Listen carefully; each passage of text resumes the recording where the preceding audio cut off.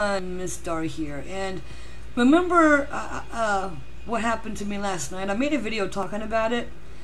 A freak shit happened about my phone. I was sitting there playing my games, eating cheese nips and having a good old time, and all of a sudden my phone started having a fucking seizure and flickering all these really bright lights on, and I was like, oh my god, the alien invasion, what the fuck? Oh my god. But now it's acting normal. It's, it's it's acting normal. It's I'm scared to death of doing anything else on it. I'm gonna have to get it looked at because I don't want it happening again. Because that shit was scary, like a fucking nightmare. Like some kind of shit was gonna come out of the, the telephone trying to grab you, like that Seven Days movie with the ring. You know, the phone rings and shit. Oh, the phone rings. But anyway, uh, put this over here.